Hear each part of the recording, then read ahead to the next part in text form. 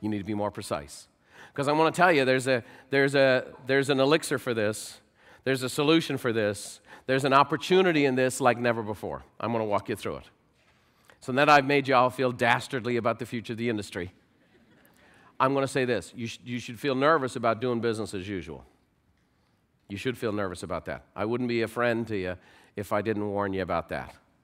But here's what I can tell you 50 years from now, when it comes to buying their single largest financial investment, getting into their single largest amount of debt, a place where they're going to raise their families and live their life and put down roots, people are still going to want and need help from someone they trust.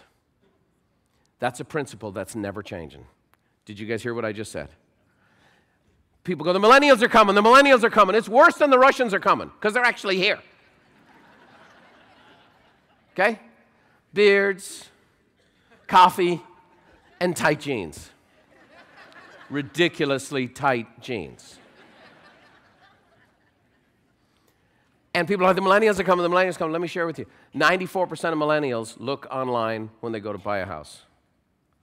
92% of them find their realtor by way of personal endorsement. You know the hip kids? The hip kids understand it better than ever before. And there's an awful lot of talk about the next generation and the culture's gone into the tank and whatever else. There's a lot of things about this next generation that is something to admire. They've watched their parents and they're, they're, they don't like getting into a bunch of debt. That's a major improvement, America. Okay? They're very, very cautious when it comes to spending. And they are far more into research when it comes to making decisions, far less impulsive in their purchasing decisions. Those are all very healthy things as far as I'm concerned.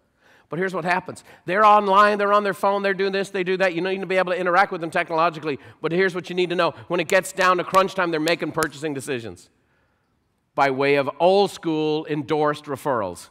If that makes sense, say aye.